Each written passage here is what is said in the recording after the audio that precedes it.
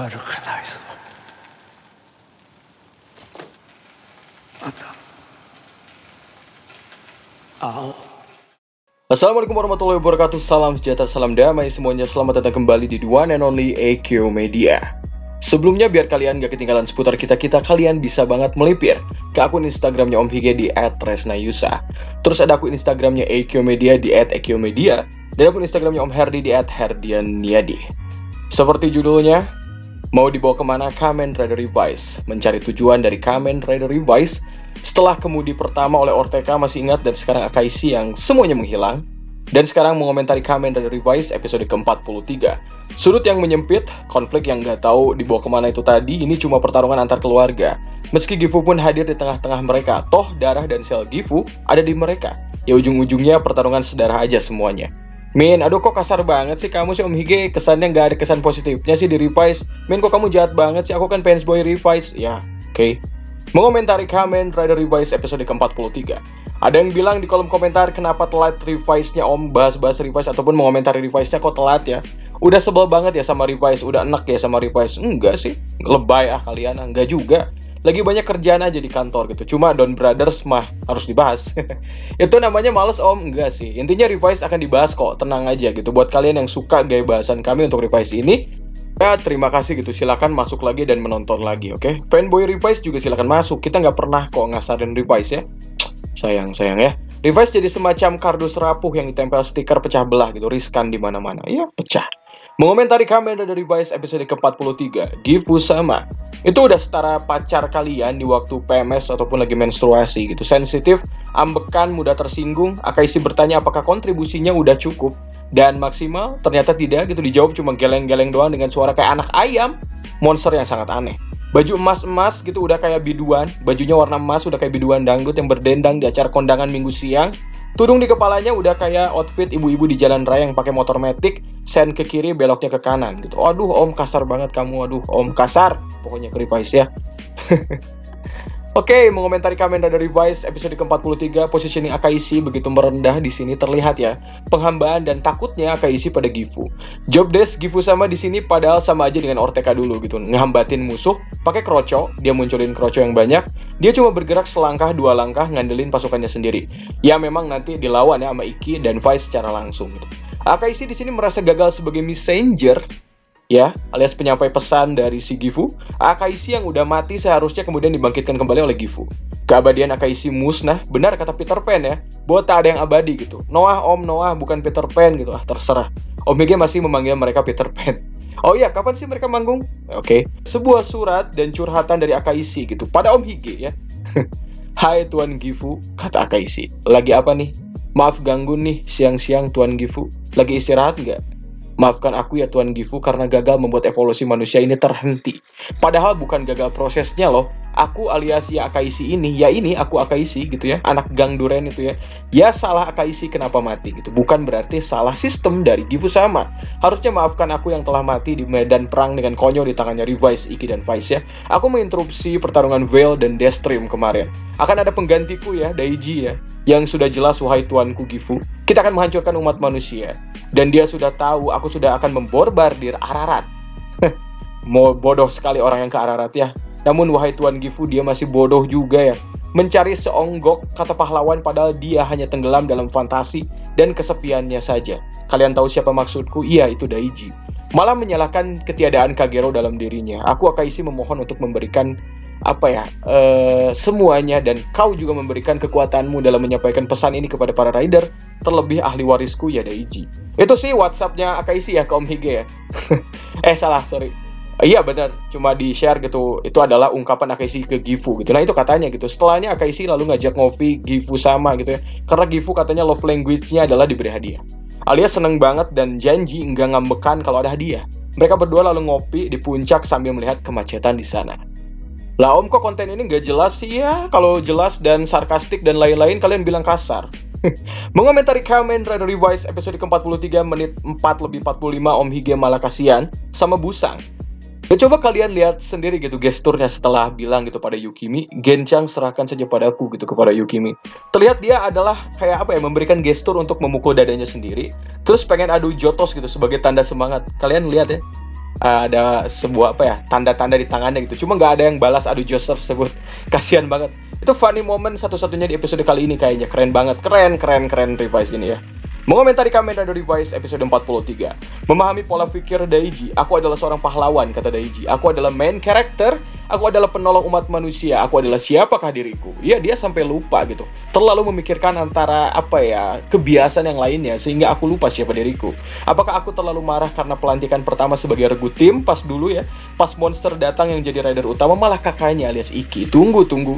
Jadi seharusnya akulah yang jadi Revice kan Aku adalah main character gitu. Aku terlalu marah sampai kakakku itu berjuang mati-matian dan bisa melukai Gifu dan apa ya ada change untuk melukai Gifu tapi aku masih tutup mata gitu gara-gara aku benci kakak. Kayak lagi aku adalah Daiji. Nah gitu. Kayak apa ya Aku berpikir gitu tidak ada yang bisa mengalahkan Gifu. Aku berpikir seperti itu. Wah iya juga ya. Aku nggak melihat nih. Padahal Iki bisa aja melakukan perlawanan ke Gifu. Malah aku tutup mata sama semua ini. Wah benar positioning aku ini sudah sangat pas. Aku adalah orang yang bebal dan aku ngambek karena aku bukan rider utama. Title Kamen Rider ini membuat aku berat gitu. Semua berkata aku adalah hero jalur kanan. Mending aku jalur kiri aja. Ungkap si Daiji. Ini bukan kata Om Hige, kata Daiji ya. Kalian kan kalau naik angkot pas sampai tujuan bilangnya kiri-kiri bang gitu kan. Enggak, kanan-kanan enggak kan. Aku juga milih oposisi jalur kiri. Apa sih? Enggak ya. Pokoknya jalur kiri gitu hero dia. Lantas aku harus ngapain gitu hero misang gitu. Apakah aku sudah benar? Oh sudah benar Daiji, kamu keren banget. Oh ya jelas, kamu jangan langsung tersadar bahwa ayahmu udah adu jotos dan sekarang di fase kritis ketika kemarin Deathstream lawan Veil, terus kamu taubat dan balik lagi jadi support Iki, ya jelas jangan dong. Ingat kamu adalah titisan main character gitu. Nah si Iki itu sengaja kagak jadi MC yang bener biar lu muncul. Elunya malah malah keren maksudnya. Wah keren sih ini semuanya Iki, Weekend, dan semua-semua yang ingin apa yang ngalahin Akaishi dan Gifu. Yang jelas, ya semuanya ngelawan villain gitu udah jelas-jelas yang dilawan siapa gitu. Kalau Daiji kan enggak, Daiji kan keren gitu ya, jelas beda gitu. Biar keren dan biar mental health-nya aku nggak keganggu kata Daiji. Apalagi dengan toxic positivity yang terus Iki sebut gitu. Apa-apaan ganggu. Aku dong keren gitu, nggak ada jalan sama sekali gitu. Pengennya bantuin umat manusia. Dengan cara apa? Misu-misu ke musuh. Ih, kalian nggak tahu ya. Aku pengen mulai kontrak itu dengan Gifu untuk apa gitu. Kalian tahu nggak? Ya untuk kalian Gifu itu sendiri dong atau enggak gitu. Aku senang-senang aja melakukan ini semua gitu. Hal yang sangat kontradiktif dibilang edgy. Seperti keren juga sih kalau ternyata aku yang menjadi final boss dan last boss, karena aku kan hero, bebas dong, sudut pandangnya diperluas gitu. Aku hero bagi para iblis. Itu ungkapan Daichi. Tolong ya, jangan hina Kagero gitu. Dia itu balancing aku gitu. Aku nggak bisa stabil kayak dia gitu. Ibarat dia itu adalah anti depresan aku. Buat Kagero, you the best man. Itu adalah sesi curhatnya Daichi ke Om Hige. keren ya gitu. Uh banget gitu ya. Om Hige mah review curhatan mereka aja, nggak komen kok enggak gitu ya. Kalian ah ya itu pokoknya Oke, okay, mengomentari Kamen Rider Revice episode 43 MPV kali ini adalah Hikaru Man demi membalaskan dendamnya kehilangan orang tua yang merupakan jalan untuk berubah menjadi kuat gitu bagi dirinya. Memanfaatkan semuanya yang ada, semua genomix dimanfaatkan secara mm, edan sih dia agar bisa mengalahkan Akaishi yang sudah setingkat lebih abadi. Wah, setingkat lebih abadi. Kok bisa ya masih dikalahkan? Kekuatan sakit hati gitu. Hati-hati kalian ya, makanya jangan nyakiti perasaan orang lain gitu, apalagi sampai nyakitin fisik. Kekuatan orang yang sakit hati dan dizolimi akan diijabah sama Tuhan gitu. Udah jelas-jelas bahwa Hikaru ini meminta sama kami sama, sedangkan Akaishi meminta sama Gifu sama. Ya jelas kalah Akaishi lah, mantap ya.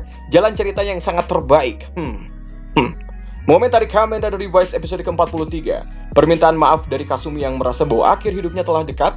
Semua perkataannya membuat tercengang warga RW 1 RT 4 Kelurahan Weekend. Masumi meminta maaf bahwa ia yang bersalah karena semuanya. Karena menyeret semua masuk ke dalam lembah perlawanan dengan Deadman. Ya, yang paling wadidaw adalah dia menyalahkan dirinya atas perlakuan dia yang menstempel George dengan iblis di saat George kecil. Efek yang ditimbulkannya adalah George jadi kaku acting, sering bicara, What? I'm sorry, calm down, hey, Ya betul, katanya George jadi anak jaksel setelah dicap stempel iblis. Mengomentari Kamen dari Revice episode 43, sudah dijelaskan bahwa Gifu sama sudah menyerah berharap kepada manusia. Hah, ngakak kocak ya, susah apa ya, susah banget itu orangnya tuh. Orang gak sih? Sudah sensitif, ambekan tiba-tiba nyerang Mudi, so ngatur gitu. Terus ini kayak ngapain berharap sama manusia? Gifu ngapain berharap sama manusia terus nyerang? Terus ada manusia yang berharap sama iblis. Seburuk-buruknya perlakuan adalah berharap kepada makhluk. Catat ya, ini emang kocak gitu. Enggak gitu, enggak akan kok ngancurin langsung gitu ke Ararat dulu nih. Biar pencitraan padahal mau dihancurin langsung atau enggaknya ya tetap aja gak jelas gitu. Eh kasar om gitu, lu emang bisa buat cerita om. Ararat kan dibuat karena manusia diharapkan kayak menyembah Gifu sama om. Nah ini Gifu kan kecewa berat sama manusia. Oke oke oke oke. Sorry. Wah, semua kaget pas Akaishi bilang Daiji adalah ahli waris. Wah, ya betul dong, Daiji ingin jadi final boss, tapi tidak, tidak, tidak, tidak. Bridging ini semua hanya untuk memunculkan kembali Kagero ya, di minggu depan, oke? Okay? Ya, kayak titisan Kagero mungkin. Keren banget ini sih, super duper plot fucking twist gitu. Apakah outfit ibu-ibu PKK yang dipakai Gifu membuat Gifu sekuat ini? Daiji tidak mengubris adanya kesempatan Iki untuk bisa mengalahkan Gifu. Pokoknya apa yang dia lakukan Iki itu salah dan tidak ada sangkut pautnya dengan kebajikan yang ia miliki. Daiji terlalu nggak jelas itu. Eh enggak enggak, terlalu out of the box gitu maksudnya ya. Kasihan mental Daiji ya, terlalu open minded. Skip mari ke pandangan yang fokus dan juga serius dari Om Hige, oke? Okay? Ah, dari tadi bercanda mulu sih. Oke, sekarang serius ya. Bisa aja kemudian kita mengiyahkan pergerakan Daiji yang serius melakukan serangan finish kepada Akaishi adalah kekesalan dia yang merasa terbodohi akan bodohnya Daiji sendiri dalam berpikiran mengenai kewarasan menjadi sosok pahlawan. Rendah literasi mengenai sudut pandang kepahlawanan tersebut menjadikan Daiji bias terhadap pandangan dia sendiri.